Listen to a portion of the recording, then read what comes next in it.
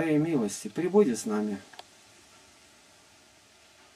Чтобы мы поступали, говорили по совести, которые Ты дал, и этим отличил человека от животных. Умудри нас во спасение, Христе Боже наш.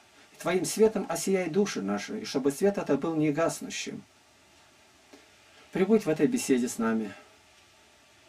Научи нас быть открытыми, честными. Тебе слава за все, Отец, Сын и Святой Дух. Аминь. Садись иди сюда. Это практически продолжение вчерашнего разговора. Потому что одного человека не хватало, который на этом задействован. Виктора Николаевича Савченко, вот он сидит рядом. Вот. Я был у батюшки сейчас. Оказывается, это уже идет о батюшке. Поближе чуть. Ага, поближе, может, удобно. А батюшке, что ты сказал, и мысль тебе пришла, что я Вите сказал у тебя не работать. А теперь, оказывается, батюшка говорит, на него сказали, что он сказал не работать. Эти слова, которые не соответствуют действительности. Я тебе вчера говорил, ты говоришь, ну да, я, ты что сказал, я так подумал или помыслил.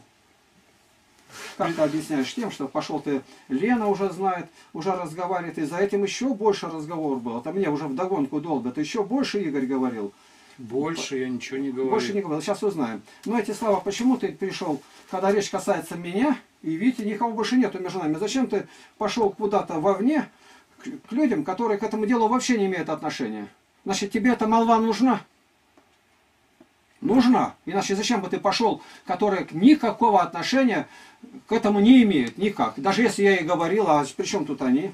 Ты подошел и говорит, скажи, выговори брату твоему, чтобы впредь не говорил, если он говорил. И Я, я- я не так стал говорить, я спросил, может быть, ты знаешь причину, в чем дело Кого ты спросил? Игоря, и все, больше я никуда не ходил. Кого спросил? Игоря Барбаша? Да. А при чем он тут? Ну, они близки с батюшкой. Думаю, может быть, он разговор... Зачем тебе выявлять, когда человек рядом здесь? Но он- Пойти чужого... Но он мне ответил конкретно, четко, ясно. Обожди, сначала так. Зачем идти спрашивать другого, говорил ли он нет, когда сам говорящий здесь находится? Да не то, что говорил, а знает ли он, может быть, чем-то А Зачем причина. спрашивать, знает ли он, когда тот человек, который в этом участник, фигура его здесь рядом? Но он мне конкретно сказал, что отказываю, и все. Все, на этом ты не удовлетворился. Значит, ты должен признать его лжецом. Почему лжецом? Но если он сказал, что... Но он сказал Нет, свое мнение. Да, дальнейшие действия-то какие? Надо собраться вместе и узнать, а какая причина, почему. Я же надеялся на это. Ну, ну ты неправильно поступаешь, брат. Куда-то за, вовне пошел, а... Нет, это вовне, вовне, потому что вот этот разговор, он вот рядом с нами. Мне было очень больно, я его спросил, как брата своего, говорю, может быть, ты знаешь, в чем причина? Почему? Кого спросил? Игоря Барабаша. Да при чем тут Игорь Барабаш, когда ты его должен был спросить? Ты как то ли то ли не понимаешь, о чем я говорю. Чего вы спрашиваете? Я его В спрашивал. процессе... Витя, я тебя спрашивал, почему? Да, Все. спрашивал. Вот теперь и все. И ты- сказал он, вопрос окончен, вообще спрашивать нечего. А спросить-то есть о чем. Вот ты идешь, у тебя бумажки на беседу, ни разу я не видал, да и не будет. В первую очередь я тебе сейчас буду задавать вопросы, ты просто быстро отвечай. Почему не ищешь совета? Я только что от батюшки. Он говорит, это главный вопрос. Я приглашал батюшку, а ты говорит, бесполезно. Это бесполезно. Он совета не ищет и выполнять не будет. Я говорю, ну когда он будет записан, он будет смотреть. Да будет он тебе что каждый день проигрывать, что ли, там, вот он, камера там.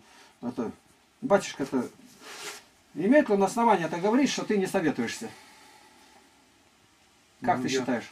Я же все время с ним беседую, рассказываю, что Батюшка меня сказал, есть. что ты не советуешься. Я спрашиваю, ты согласен с этим или нет? Ты не ищешь совета. И не записываешь его. И не видишь, как оно исполняется. Совет ты принял, точно делать по совету. Почему? Я делаю, как советовали меня. Когда это было у тебя? По какому совету? Тогда скажи. Я спрашиваю. Ну а дальше-то что? А что конкретно вы имеете в виду, что я не спрашивал? И что это? Ну вот сейчас, допустим, тебя, как быть... Вот они уезжают, у меня скотина. Что я должен делать? Ты этот вопрос батюшке задавал? Мы сидели у мамы, позвонила Наташа. Ну и она передала разговор их в машине с Виктором, с Володей. Вот, что батюшка сказал, ну, Володя говорит, ну ты поможешь пасти, а ты, Витя, будешь доить. Я воспрял духом, все, думаю, ну, как... Батюшка сказал. Да. Ну пусть он А пасет и делает. Не как батюшка, так? а сказал, что Виктор будет помогать пасти. ой, доить. Наташа передала мне этот разговор. Я был у мамы как раз слышал. Я успокоился. Все, что говорить? Нормально, да? Ну а тут Значит, работник, который будет работать, с ним ты не договорился, а сказал батюшка, позвонил Наташе, сказал Володя, Почему решает-то тот, кто будет, будет ли он. мы-то после занятия-то я его подвел. Витя, ты как ты сможешь помочь мне доить? Я-то его начал спрашивать. Я за него я не, Да не раз до конца-то, это договор составлять надо, не просто подоить. Ну а что тогда договор, если он не отказал? Что сказал? Ну Витя сказал, что я не так, буду хорошо, помогать. ты сказал. Что ты ему сказал? Что именно? Ну, им, Витя, будет работать, Витя, ты что ему в ответ сказал? Ну, я сказал, что нет, и И все. назвал Всё. причину. Не сказал причину, нет. Причем тут Наташа, батюшка, где-то ты Это зачем? было уже потом. Да и потом уже нечего, раз он отказался. Теперь задача такая, как это сохранить? Главное, тебе нужно сохранить коров, и чтобы у тебя был достаток. У тебя главная цель вот, вот что в этой системе-то. А ты какие-то разговоры, где-то что-то Никаких ведешь, это- разговоров. Это, не надо совсем. Никаких разговоров. Я подошел к Игорю, как к близкому человеку спросил, может быть он что знает? А он что сказал? Ничего, говорит, не Ничего не, он и не может сказать, он в разговоре не участвовал, посил он не будет. Ложный след. Всё. Я повторяю, ложный посыл и ложный след. Ты с этим согласиться должен. Иначе это так будет дальше. Со мной, у тебя, я тебе квартиру не обещаю, у меня жить-то. Но сказал, что если вот так вот будем согласны, то так. Зачем к другому идти? Мы двое договариваемся. Двое, больше никого нету. Значит, посыл неправильный. И идешь ложным следом в данном вопросе. Дальше. У меня вопрос сразу возникает. Вот говорит, я смотрю Женя, я знаю, первый возвращается из города Женя. Почему? Мало клиентов у него. Но Игоря больше клиентов, и он возвращается раньше тебя. Твои клиенты хуже покупают? А нет, оказывается, Игорь там свободно живет день, живет второй день. Ты позже всех приезжаешь. Это так? В смысле зимой? Или Да и летом? летом ты от- приезжаешь позже других из Ну, города. летом я какие закупки делаю для, для стройки. У меня же дома ремонт, я доделываю. Вот. Так, покупаешь. Конечно, потому что потом у меня в разных концах города точки, мне приходится ехать туда, потом возвращаться, закупки делать. Почему этого нету барабаша? Вот это. Он тоже строит, что-то там делает и покупает Спросите, вещи. сколько раз он позже, мы с ним, ладно. сколько раз он позже меня То приезжает есть вместе. ты максимально быстро возвращаешься и быстрее невозможно. Надо обязательно на второй день остаться. Я говорю о втором вам, дне. рассказ- вам рассказать о втором дне? Да, о втором дне расскажи. Значит, я стою, управляюсь. Когда я управился, параллельно я варю творог утром. Потом расфасовывается молоко, я управляюсь, даю, кормлю скотину, вычищаю все. Вот, как раз начинает светать, пока загружаюсь. Часов 10 я с дома выезжаю. И только в 2 в третьем я в городе. Я успеваю обойти две точки. Ну, уехать в город и две точки обойти. Вот. Утром рано я встаю, встаю, вот, да, продаюсь, доторговываюсь. Вот, потому что летом, зимой желающих очень много купить, надо всех объехать. И возвращаюсь домой. И бывает, что я с Игорем возвращаюсь или раньше его возвращаюсь. Вот поэтому я и задерживаюсь, потому что зимой и мне страшно ехать Так, ночью. что ты сделал для того, чтобы возвращаться, как они? Вот Игорь утром э, вычищает, пропускает, творог варит там или что-то, нет? Барабаш? Нет. Нет. Тебе так нельзя по его графику жить. По его графику выезжать в 5 утра и быть в 8 там уже в городе. Ну, если бы это где-то далеко было, ты бы сказал, ну, там проверить надо, ездить, так ли он делает. Но ты знаешь, что именно так он делает. Утром он не заходит даже туда. Он уже в 5 утра, уже машина его в пути гудит.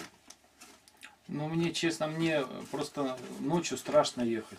Потому что у меня снегоход старый, у него новый. Он более уверенно себя чувствует. Я говорю, даже летом. И летом, а летом мы вместе выезжаем. Летом рано уезжаешь. Конечно. Я Так, выезжаю ну, из 10.05. Все ли ты вас. сделал, посоветовался ли с Игорем, чтобы Игорь, у меня старый снегоход, ты меня доведи до этого места, даже ты на машине до этого, чтобы вместе ехать, не бросить. Он тебе еще отказал с собой ехать. Каждый на своем снегоходе. Почему вы бросите? Я с первого дня против этого. Везде люди едут в вязанках, альпинисты на одной веревке. Бывает ну, затруднение какое-то, его вытащит другой. Здесь поврось едут. Вы не сегодня это, вы все годы ездите поврось. Мне э, по здоровью тяжело в 4 утра вставать, уезжать, и тем более Серега мне утром встает, он в морозы сильные мне машину греет.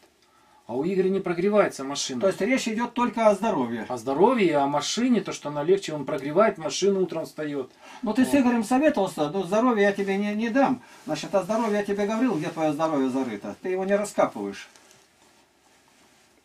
Или рассказать еще раз? Да знаю я.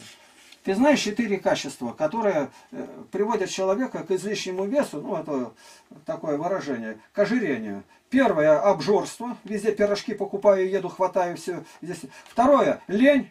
Лень это не означает, что ты не работаешь, означает не потеешь. Не все выкладываешь по своей комплекции. Третье – спанье, днем ложишься спать. Ну не ты, другой там, ложится спать. Четвертое – это беззаботность. Даже вот сейчас мы договорились в 10, ты приходишь почти в 15, мы стоим рядом, рядом, сосед, бок о бок. То даже никакой нужды нет, не обязательность. В церковь, Почему не обязательно? Я сейчас не закончу. И в церковь же. даже, вот последние два раза ты не опоздал. Все время, 2-3 минуты, они ничего не решают. Нет, там творог пропускать.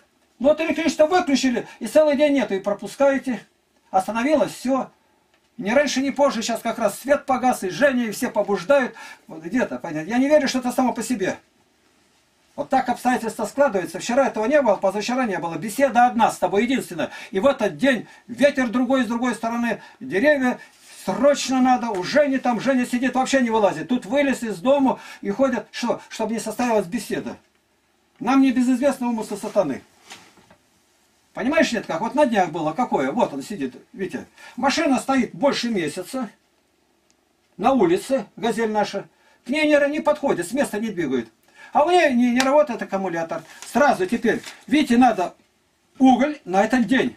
Машина не дергается. Он даже не знает, что она недвижимая. Она стоит на пути самосвала и не проехать ему. Ну, он на улице может, ведрами таскать будешь. Дальше. Витя, убирай. А он не движется. В этот день, вторник, уезжают все, а аккумулятор взять надо там у Игоря. Теперь надо звонить. И в этот же день конференция Витя сам уезжает. Ты понимаешь, вот все, чтобы именно на этот день, вот так все вот, вот так совместились, ну, это очень большой процент невероятности. Ну, И, и теперь я э, скажу, вот точно такая история здесь. И ты задерживаешься, никакие, хотя бы позвонил, ребята, простите, я не могу, тут электричество меня пол бы ударило или что-то. Ничего нет, не пришел. Мы стоим, я всем сказал, прийти на 10 минут раньше. Тебе это противопоказано прийти на 10 минут раньше? Ты на полчаса позже приходишь, Игорь был, я говорю, Игорь, Барабаш останется здесь. Сейчас брат Игорь придет поговорить, а это он через полчаса. То есть тебе не верят. Полчаса у меня генератор работает, сепаратор сепарируется, молока осталось чуть-чуть. Все, я знал это. Я знал, что И на это что? будешь ссылаться. Я-то когда с вами разговаривал, свет-то был. Был. Был, Ничего и не всё изменилось. шло. А всё стало Что главное, сепаратор отключили. или друзья собрались здесь тебя ждут? Что важнее это? С сепаратором Вот ты не договаривался. Еще раз говорю, с сепаратором ты не договаривался. У тебя нет понятия вот этого честного отношения к взаимоотношениям. Это не годится. Ты сказал это слово. Ты должен был, говорится, на колени пасть, попросить. Простите, ребята, вот такое дело, у меня сепаратор, тут я теряю золото тонну. Простите меня, Христос. Вот так. И на будущее имей в виду. Ты мужчина. Слово твое тверже золото. Да, да, нет, нет. А все остальное от кого? Тебе что доказывать-то? От лукавого. Дальше.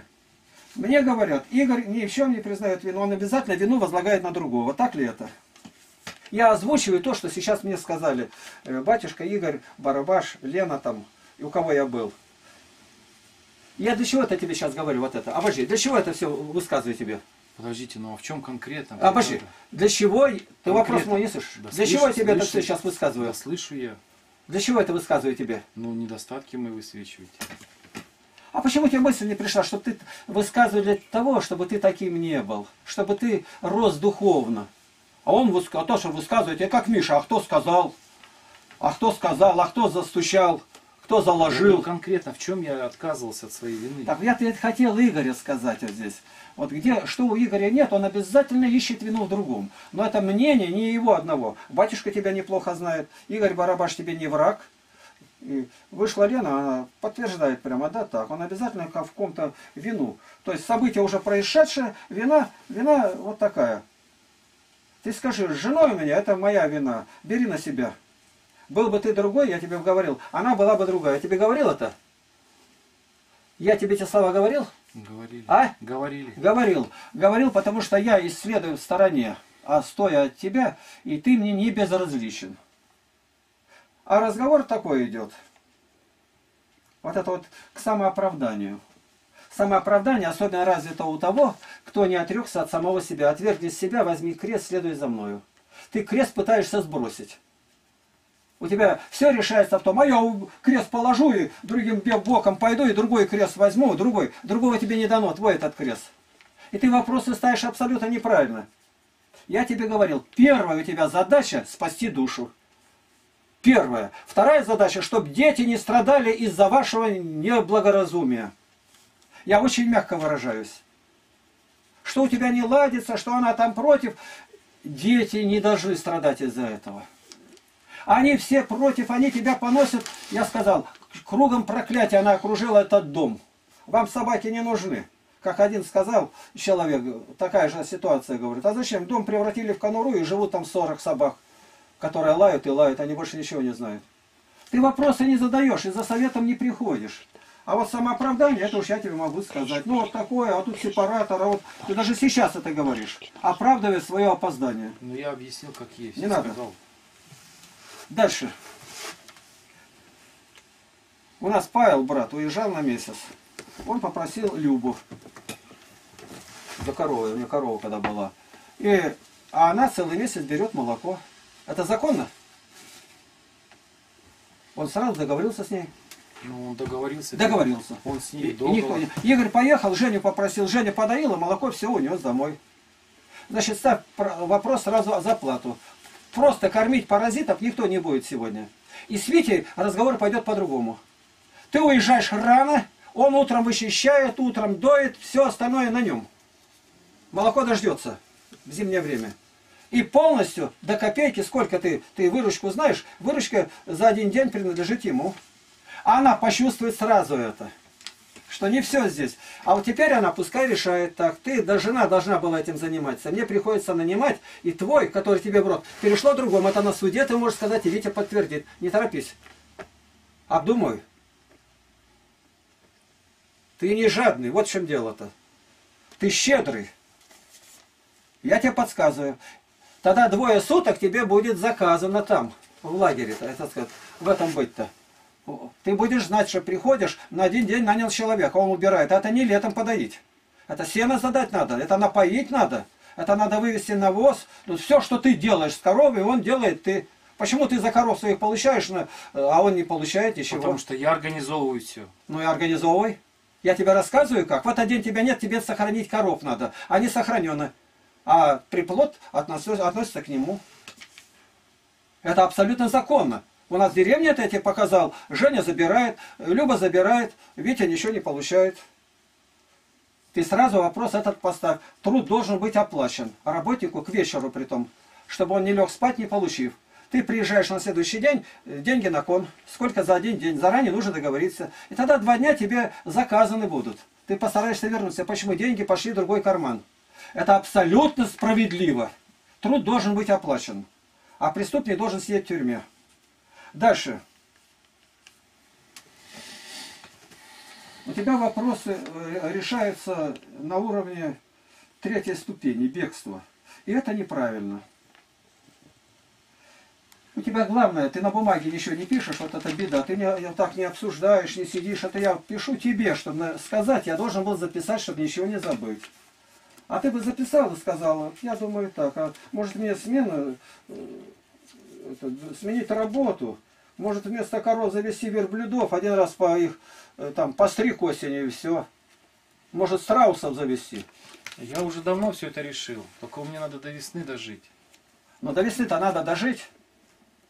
Я тебе совет мой давал, коров увеличить. Иные говорят, зарезал бы, продал, отдал я, а я всегда советую количество увеличить, чтобы больше был доход. А теперь, если с моего совета, теперь, а как же работник? Работника нанять всегда так делали. Вот ты где живешь, вот сейчас здесь, как раз этот, вот маленько поближе, где вот это вот стоит. Здесь Эрлихи жили, вот приезжает он, Роберт здесь. Они жили в доме Шахуриных. Внимательно слушай. Они жили бездетные, двое. 30 дойных коров, 15 рабочих лошадей и 130 овец. А уже голубей, как они рассказывают, душа у меня млела, сколько держали куриц и прочее, не считаю, но был работник. Два или нет, об одном я слышал. Но и работали они не так. Они оба сухопарые, сухонькие. Ну, что тебе показывать? Как Николай Кручина, как Витя наш. Вот как. И работник получал так, что он построил здесь дом, и мало того, один сколько работал, он всем он строил дома, и они дава- давали им жить. Так что коммунисты их даже не, не тронули, этих людей. Вот теперь смотри. Пасьба. Пасти надо хорошо. И хороший пастух, вот, Володя, ты, он, ты его нанимаешь. Сколько вы за день платите? У нас за месяц идет оплата. Ну, за месяц посчитать, разделить на 30 можно. Если месяц, э, он по дням. Разделите на сколько дней. Это занимается Лена. Деньги выложите, плюс литр молока. Пастуха всегда кормили. Я Володю отпущу. Ты согласен? Да. Согласен. И с с Витей также можно было бы договориться. Дальше. Ты слышал такую песню? Мы за ценой не постоим. Нам нужна одна-одна на всех победа, и за ценой не постоим. Слышал. Роберта Рождественского. Особенно 9 мая, таким маршем она играет. А цену ты знаешь, какую пришлось заплатить? Много миллионов жизни. А сколько много? Миллионов 30, по-моему. Да. Официально признано уже 28. Вначале говорили 5,8, лгали, а потом подсчитали тех, которые вернулись раненые, умерли в течение года в госпиталях. Это, это жертва войны и прочее. За ценой не постоим. Возьми себе это за эпиграф. Ты за ценой не постоишь. У тебя главное сохранить душу и чтобы дети твои нормально могли быть обеспечены. Я другое не беру. А она, как то другое, не касается. Э, Работать у тебя в доме он может, но при одном непременном условии, чтобы в этот день никого, ни ее не было у вас. Это ты должен обговорить. Потому что от них мы доброго ждать не можем. Любая провокация для них ничего не стоит. Почему? Это вероотступники, где семь злейших поселяются. Лучше бы не познать пути правды. Ты это согласен? Условие это. Но она-то в сентябре съезжает, это, в сентябре еще здесь будет, она будет доить. Ну, она- ну, значит, она будет доить. Когда? Да. Если он согласится, я еще с ним не разговаривал, ты с ним будешь горовать, не я разговариваю это. Если он согласится, а ты помолись об этом, то условие его непременное, чтобы ни ее, ни детей в это время не было, потому что это девчонки. Если приедет Максим, значения это не имеет. Максим в это время может приезжать и прочее. Ты меня понял? Да. сохранить брата. От нее мы можем ожидать чего угодно. Она сейчас копает под школу, я все равно закрою. То есть там идет анафема на анафему. Полное беснование, безумие. Но она ничего не сделает. Дело в том, что она себе подписывает приговор только этим. Она не то, что там восстанавливает на старинных благочестивых обычаях, а у нее вся задача, она привлекает специалистов, которые советовали бы, как разрушить деревню, как уничтожить устав. И на будущее ты уже сказал им это, еще подтверди. Без формы сюда дети не приезжают и даже Я летом. уже сказал. Все, согласились? Ну, да. Ну, я Гали сказал. Но ты сказал, детям ты не сказал? Детям еще нет. Ну, дети рядом были, они все слышали, сказал только... Нет, ты отдельно, собери дети, сядьте здесь, я ваш отец. Послушайте внимательно. Что ты так это, даже Гале передать вот это, а встречи ты три дня мурыжил, мурыжил, разные причины, то я, то ты, то он, да. Ты пришел первым делом, я бы сказал, Галя, нам предложено, нами предлагается с тобой встретиться. Условия вот такие, равное время, место выбираешь ты, зови прокуроров, судей, милицию, кого ты кем стращаешь-то, чтобы они поприсутствовали. Но я заранее сказал, она не согласится. Не, не согласится. А эта встреча еще времени не прошло. Послезавтра, 12 дня. Она может еще одуматься. Ты еще раз напомни. Хоть пятый раз. Ты в этом не прав. Теперь, вчера мне говорят, я только слухи с тобой проверить, будто бы ты или Галя тебе это сказала, что мы, или ты сам додумался, тут разброс широкий, делаем все для того, чтобы ты продал, все, был свободен, а так как Игнатий намечает где-то ездить по стране, он тебя берет шофером, тебя, и поэтому там тебя будет обеспечивать, кормить и поить. Что-то в этом направлении разговора ты вел где-то? Я с Игорем такую версию выдвинул. Версию ты сам выдвинул. Да. Я, ну, я думаю, какой может быть причина, что Витя отказывается помочь. Думаю, Ну да. школа меньше, один класс, ну какая, ну думаю, Ну да. Это только я с Игорем версию выдвинул и все. Вы- Может быть это? Он Да, говорит, я не версия это знаю. выходит от того, что она напи- написано, говорит, э, уста говорят от сердца. И оскверняет человека, Христос говорит. Одежда твоя, она не оскверняет тебя. Понимаешь, ты версии выдвигаешь. Ты слишком образованный стал за это время. Просчитываешь все варианты вперед. Вот смотри, какая твоя версия. По порядку. Я никуда не собираюсь. Первое. Все остальное отпало. Ну, вариант такой. Я собираюсь. Но теперь заранее тебе скажу. Тебя шофером я никогда не возьму. По твоей комплекции. По твоему виду. И дальше ты шофер-то никакой. Ты только э, э, руль крутишь. Ты заел бы меня этими сервисами. Камеру смени, сервис. Лопнул хомут на рессорах, сервис. Николай разбирает все, там шарики там полетели в колесе переднее, там, там столько деталей. Все это дорога разбирает, и потом дважды пришлось ему разбирать. Я только видел где-то. Он до самой мельчайшей доходит. Он шофер высокого класса. Это дальнобойщик. Он по Европе ездил. Здесь вся страна до Калининграда и до Камчатки, говорится, ему известно. Я тебя не унизить хочу.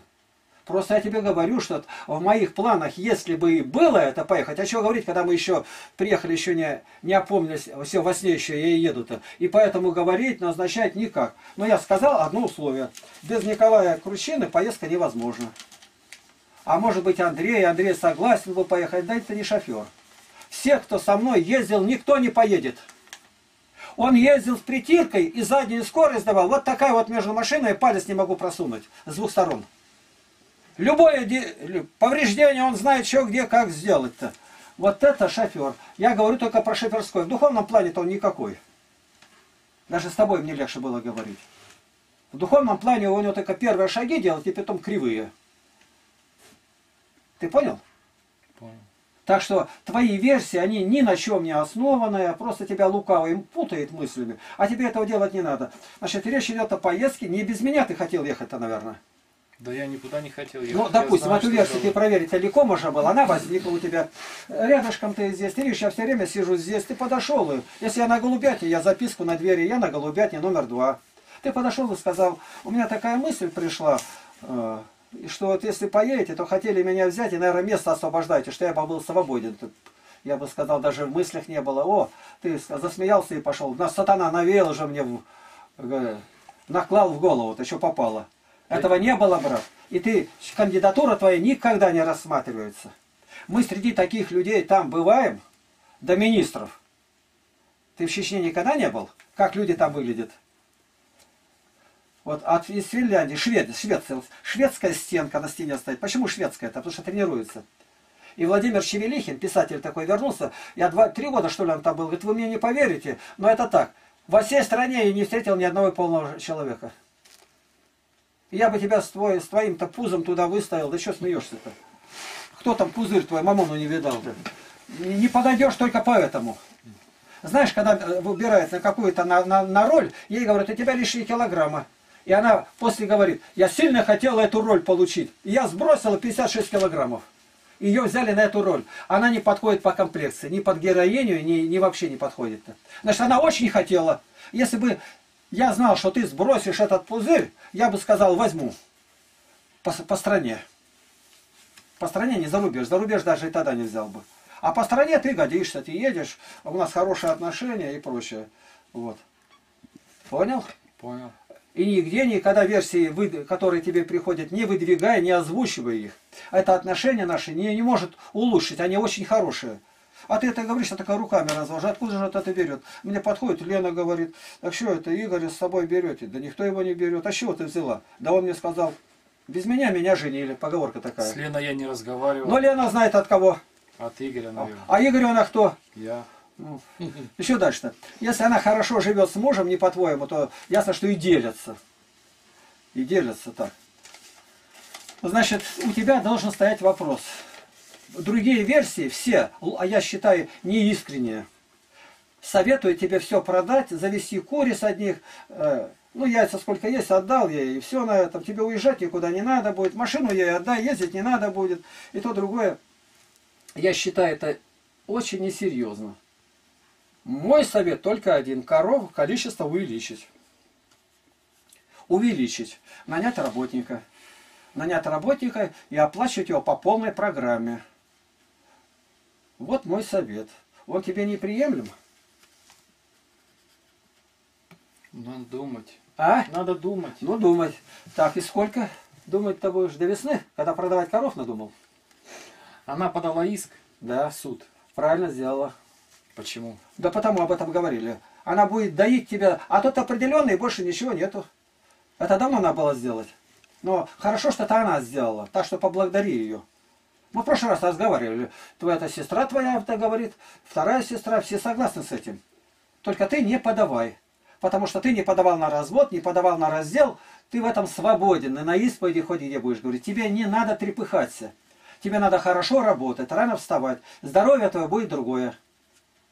Я маме твоей давал там, она говорит, я пользовалась кремлевской диетой, и у нее мне было там 18 болезней-то. У нее, ну, конечно, ноги, вены, инфаркт, миокард, все. Теперь, говорит, ни одной болезни нет, я забыла дорогу в больницу. Это кто говорит? Женщина какая-то там, А. которая показывает, какая она была, и теперь какая стала, она стоит, ну, лет 20 минимум она помолодела. Я, говорит, не вылазила из больницы. И глаукома, и поклоны никакие, ничего. Теперь я, говорит, живу свободной жизнью. Ты сливок съедаешь больше, чем я, а здоровья меньше. Я к чему говорю, что Да. она подала? Ну, явно, что суд будет, а там уж видно будет. А то, может, придется все вырезать и все. И... Хорошо, И хорошо. Ты, мы договорились, что ты принимаешь это как от Бога. Ты согласился. Как от В Бога. смысле, суд? Решение суда. А то у нас было Вадим, а Надежда Андреевна, там это, Вадима мать. Мы как от Бога примем. И только закончился суд, пошли против решения суда. Опять подают, опять пересуд. Ну вы же говорили как от Бога. Это мы записали все. И это можно посмотреть, прослушать заново. Тебе надо будет прослушать, как мы беседуем с Вадимом. Принеси флешку, я тебе скачаю его, материал этот. Один гигабайт, дай мне. И вместе прослушайте, сядете, беседуем. Он сам, Вадим сидит здесь, его мама рядом, его дядя родной, Виктор Андреевич, Севастьян и Татьяна. Он сам избрал, кого хотел на беседу. Я говорю, ты собери пройди, кто, кому ты доверяешь-то. И он избрал их. Эти, эту вот коллегию не я набрал он. И у меня дома беседуем. И запись. Там есть что послушать. О разводе. О, о том, как содержать детей. Он прибегнул к лжи. Когда детей надо было ему, говорит, иметь, чтобы детей ему присудили. Он сказал, я работаю в Горном Алтае, 20 тысяч получаю. Когда детей присудили другому, надо элементы. Он говорит, я больной, не работаю. И эти справки две у судьи. Судья говорит, да какой справки-то верить? Это верующие. Годится? Сохрани тебя Бог об этом.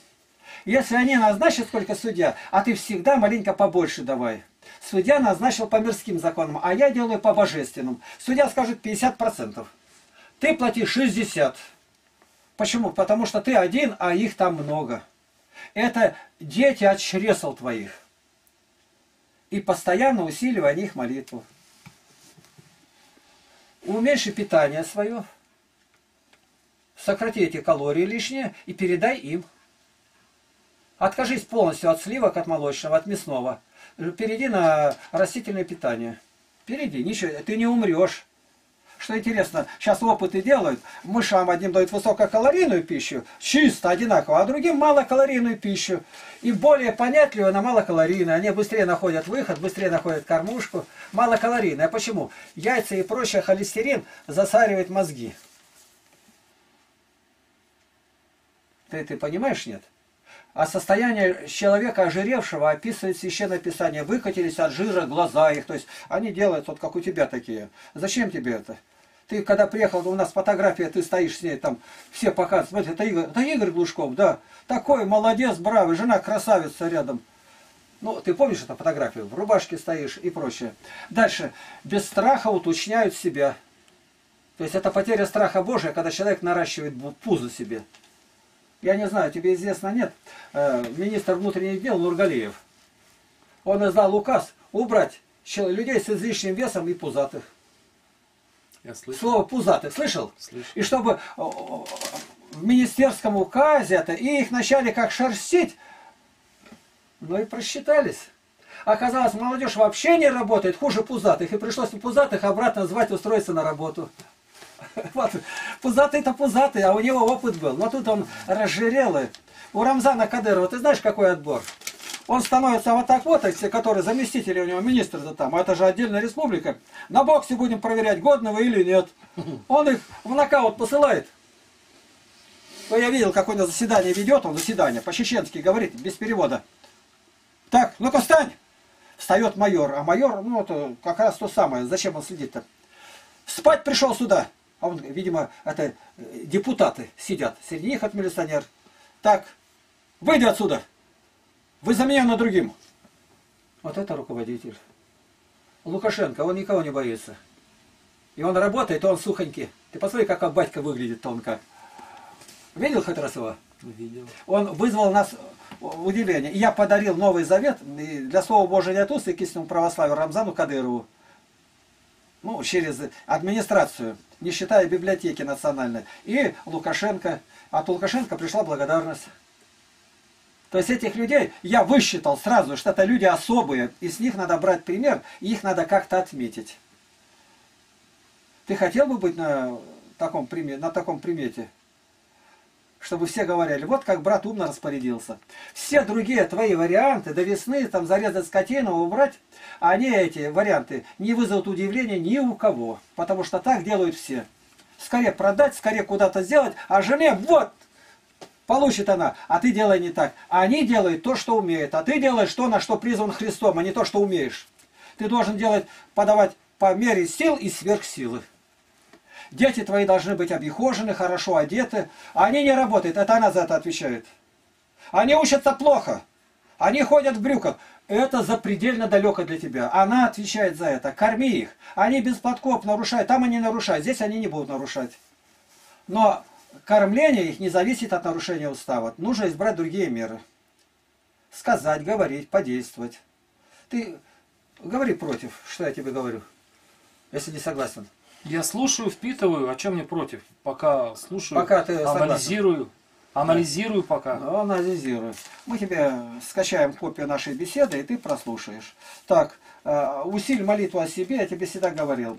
Охапку сухого сена в каждой, у каждой коровы в уголок. И как зашел, там везде помолись. Хотя бы минуты по две. Чтобы в общей сложности у тебя не менее семи было. Не менее, что помолиться. И, конечно, о Гале никогда нигде плохо не говори. Никогда и нигде. Ты как думаешь, она звонит сейчас этому Бобрику отцу Игорю, в Агдыгею? Думаю, что нет. И почему? Но она вообще к православию относится отрицательно, стала относиться. Ну нет, а почему она не звонит? Не знаю. Я думаю, что из-за этого. Не из-за этого.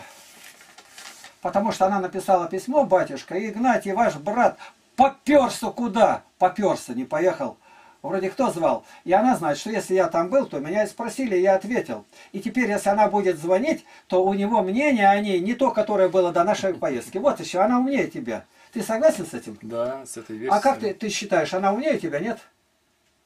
В чем-то же.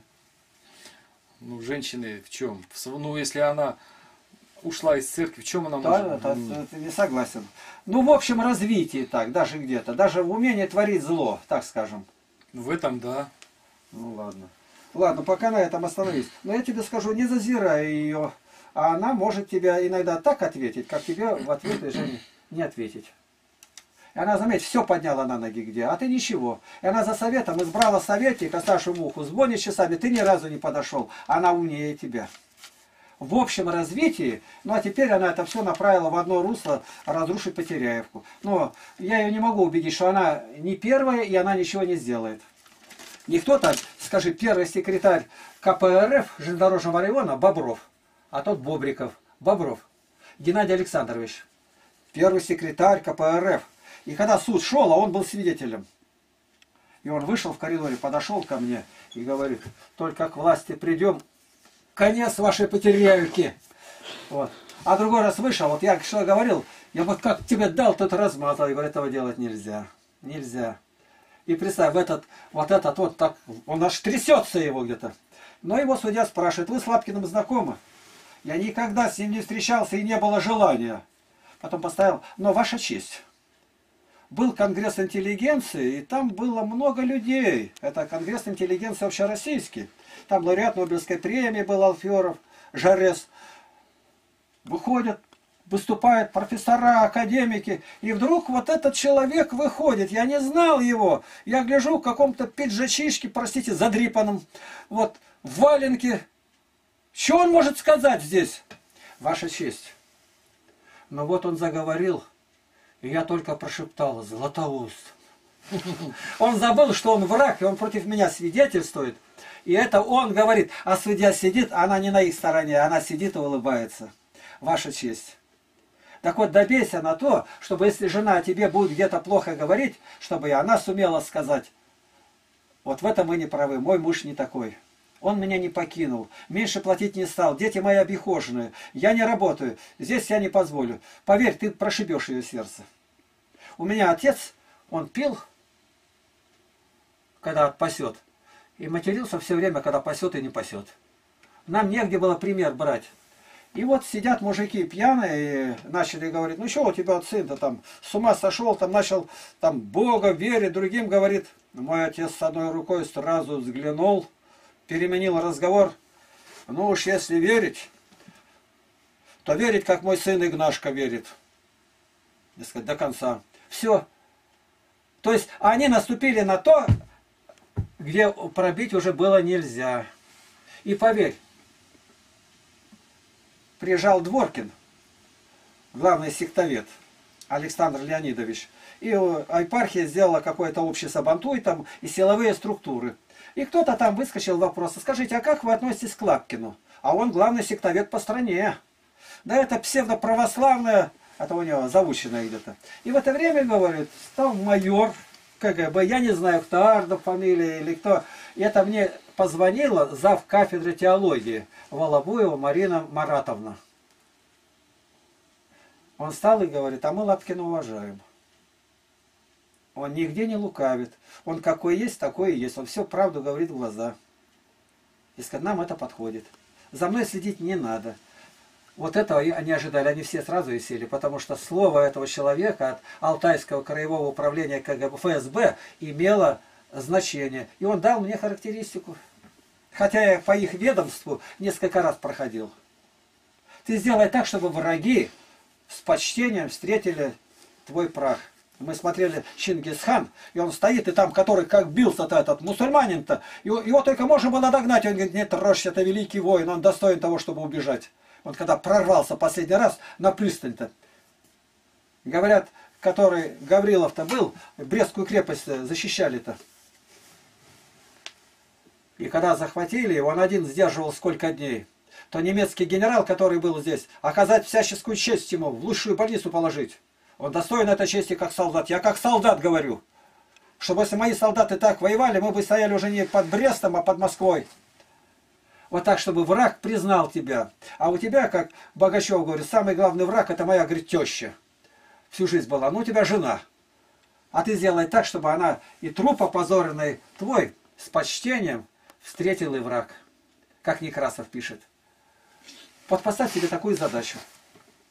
Чтобы мать даже тебя не будет, чтобы она сказала, как нам было хорошо с отцом. Он нигде не лез, мы как хотели, так и жили. Он кормил и поил нас. Я тебя, Игорь, не обидел этим? Нет. Нет. Мой тебе совет в силе. Весна ничего тебе не должна изменить, кроме того, что телок превратишь в коров. Дети растут, им требуется больше, покупать там платья, учебники и прочее. И они это все поймут. Мой совет не сходится с другими советами, которые советуют все продать, встать, отряхнуться, сказать, я вам не нужен, не нужен, вот все ваше, я ушел из дома и бросил. Ты не можешь так сделать. Потому что э, божественного развода не было, измены не было ни с ее стороны, ни с твоей. А мирской суд э, никакой роли не играет для нас. Она по-прежнему тебе законная жена. И они по-прежнему законные дети. Тебе местный участковый майор Афонин Евгений Николаевич сказал, вы не лишены родительских прав. И может случиться так, придет год-два, она придет и скажет, я осознала, прости меня, прими. Ты примешь ее? Вот тебя спрашивал это? Да. А, а я Алексея Сискова спросил, скажи, милиционер этот у вас, как он? Ну, ну как? Ну, мне показалось, что он миролюбивый. Ну, смотря для кого, Алексей говорит. Это в Алексея записали ролик. С преступником он суровый бывает, это так и должно быть. И он здесь мирил. Ну, ну надо как-то примирить-то вас. Он стал сколько раз к этому. Ну, какое-то компромиссное решение. Мы говорим, пусть она устав не нарушает, она нам не мешает. А какой вред она вам сделала? Никакого она нам не сделала. Она не сделала вреда. Что она там вышла, милиции вызывала. А какое последствие-то? Никакого. Она сделала себе хуже. Ты о ней поскорби. Что эта роль доносчика, клеветника пала на нее. Это роль, как Шекспир говорит. И что ты скажешь теперь? Давай. Мы за собой не постоим. Ты согласен? Нам нужна одна на всех победа. И за собой не постоим. А цена, главное, это самоукорение. Отвергнись себя. И тогда перемена места тебе ничего не даст. Ты на другое место переедешь, еще больше толстый будешь, еще больше упрямый, как осел. Еще больше будешь удаляться от друзей. Тут у тебя рядом друзья, за тебя молятся, а тут мама. Да я не собираюсь уезжать. Кто? Я не собираюсь уезжать. Ну да, ну а к этому подбивает. да поверь. кто, кто подбивает? Сатана? Да я не собираюсь уезжать. Ты не собираешься. Сатана уже подбивает, уже клинья далеко забиты. Да что вы, Игнатий? Ты, ты мысли Я уже это прошел уже. Пошел. Ну ладно, ты не осознаешь, я тебе скажу. Меня трудно в этом убедить, потому что я по делам вижу. Ты озвучиваешь ее мысли и говоришь так, как будто это она говорит через тебя. Она в тебя переходит. А ты сделай так, чтобы ты перешел туда. Чтобы не потерять. Мне нравится такой момент Иуда Бенгур. Вот когда она разговаривает с ним, он только отомстить Мессале надо. И она говорит, дух сделал пошел тебя, тебя. да. Иуда, вот так вот отшел. Иуда, я потеряла тебя. Да, да. Это настолько тревожный момент. Смотри, брат, чтобы Господь не сказал о нас. Я потерял вас. Дух жены, дух злобы, дух лукавства вошел в вас. Чтобы эти слова, которые сказала она ему, нам Господь не сказал и друзья не сказали. Мы так близки со Христом. Если у тебя ничего нет, значит, заостри внимание на то, что совет всегда бери и записывай. Ищи этот совет. Приходи и спрашивай. Ты обязательно сходи к батюшке. Обязательно. Без бумаги к нему не ходи. Вот я сколько сижу, смотри, вот это папки какие. Это все советы. Все это люди мне все говорят, что здесь было, вот оно все. И у меня советов эти тома переплетенные. И каждый совет я тщательно разбираю. Ну, Без ба- сов- Батюшка и говорит, продай все и... Я знаю, кто говорит. Ну. Наш совет не сходится с батюшкой. Да. А Поэтому- тебе какой люб по сердцу? Мой или батюшкин совет? Ну, Конечно, я знаю, что надо скотину держать и помогать Я вопрос кормить. поставил, ты четко отвечай. Конечно, ваш совет. Вот и все. Но ты батюшкин-то совет не отбрасывай. Я не Батюшка отбрасываю. прозрительный. Он очень мудрый. Если это он сказал, он померит по той шкале, которую в тебе видит. Что она тебя будет доить и доить, и- а вот это раздел-то имущество как раз и покажет, сколько. Ты этого человека вот потерял, Виктор, как работника. Договорись с ним. День, который я уезжаю, до копейки приезжаю, и сразу деньги на стол. Да тоже, чтобы солнце не зашло. Ну, тут ты уже приезжаешь после. Деньги до копейки. И литру молока сверху.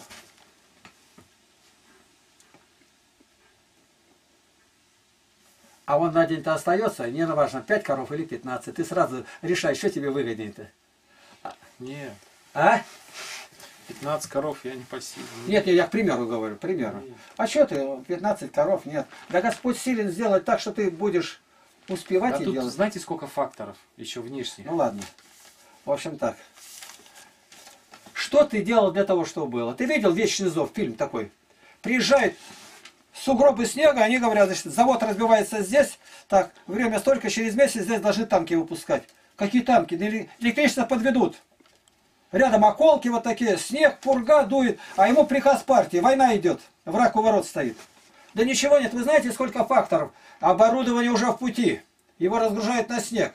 Еще крыши нет, и завод начал работать. И враг побежден. А по-другому нельзя было, понимаешь, нет? Тебе надо переменить тактику. Ты еще все, как говорится, в мирной обстановке решаешься. Вот Как был, так идешь и перемени тактику. Иди к батюшке скажи, батюшка, я останавливаюсь на том, что надо все-таки хорошо содержать жену, чтобы она была у меня как царица одета. Детей содержать, как княжеских. Ну, я сам как раб рабов. А, что? Так, в общем, спать надо меньше. В этом твое здоровье. Ты даже не заметишь, как здоровье начнет улучшаться. И сам на себя взглянешь и взвесься последний раз, сколько, если скажешь, с сегодняшнего дня, пузо, войну объявляю тебе. Я сумею победить тебя, похоть человеческая. А скажешь, я не могу, а ты скажи, врешь, обманщица, пузо. Мало ешь, мало пей, здраво будешь. И святые так наставляют. То есть разговариваешь с животом своим. Я тебе покажу, вот так к животу поставь. Ты у меня будешь стонать, по поросяще визжать. Я тебя заставлю. А что сэкономлю на этом? На дело Божие, не забывай. Дело Божие. Дело Божие, а семью обиходить. И все. Я тебе говорю то, что как поступил бы я на твоем месте. Хотя эти слова тебе они ничего не говорят. Сейчас все, я бы сижу и веду, руками разведу. Но я по-другому никогда не поступал. Вот в чем дело. Меня если арестовали, то э, взяли три магнитофона. Когда пришли второй раз, через пять лет арестовать, у меня было их 15. 15. Если я тогда выпускал в день 4 пленки, то в это уже получилось, уже я выпускал где-то по 150. Почему? У меня много детей по всей стране. Я духовную пищу давал. Надо насчитать и надо распространить. И Бог дал помощника Гаврилова отца. Одной кнопкой срывается 10 магнит... 11 магнитофонов, одной кнопкой останавливается. И я не ложился спать месяцами. Вот так, как кровати только прислонюсь, а на, на нижнем э, работает магнитофон. И батюшка звонит как? Да на полу сижу. Это означало, что спать не ложусь. Месяц, второй, подушка меня не знает, постель не знает к слову сказать, 50 лет почти позади, моя жена меня не видела лежащим днем. Все. Измени тактику-то. Это жена, она тебе помощница, она живьем тебя в рай толкает. Ты должен смотреть на нее как на благодетеля, а не как на врага. В Гале море хорошего, она такая добрая. Она таких ребятишек тебе принесла, красавец. Ну, ты понял? Что говорит-то? Что скажешь, и будем молиться. Ну, надо переваривать, вникать. Ну, переваришь, у тебя есть где варить тут. Котел большой. Давайте молиться. Так, помолимся. Но мы договорились, что ты больше да, домыслами не будешь давиться и распространять. Нигде. Мы рядом. Ко мне подойди. Говорил, не говорил. Все, точка закрыта. Сразу вычищена. Никому, нигде, никак. Я тебе все в глаза сказал. И за глаза у меня разговоров нету. Я буду повторять, если я только то, что говорено. Будешь молиться? Давайте. Господь и Бог наш, слава Тебе. Ты вечный Иего послал Сына Своего, Иисуса Христа, Господа и Бога нашего Спасителя, который умер за грехи наши по Писанию и воскрес для нашего оправдания. Слава Тебе. Нам дано не только веровать, но и страдать. Апостол Павел трижды молился, чтобы ангел сатаны не удручал его этим жалом в плоть. А жало в плоть – это все наши гонители. И ты ответил ему, довольно для тебя благодати моей, научи нас видеть, как ты окружил нас благодатью. И без скорбей никто не спасется. Сколько людей сегодня тонет, погибает на дорогах, пытают их в подземных казематах. Как им тяжело облегчились. А у нас все есть, Господи. Мы плывем в этой благодати. И то, что кажется тяжелым, оно такое легкое и по силам нам. Слава Тебе. Благослови это место, чтобы мы могли склоняться здесь, прославлять Твое имя. Благослови брата, жену его и детей. И соедини их перед престолом благодати Твоей в молитве, чтобы никто не погиб. Тебе, Боже, слава, Тебе хвала, Тебе честь и поклонение, Отец, Сын и Святой Дух. Аминь. Аминь. Аминь. Спаси Христос. Спаси. Флешку принеси, мы тебе скинем сегодня же. И ты с ними просмотришь. Еще раз. Никогда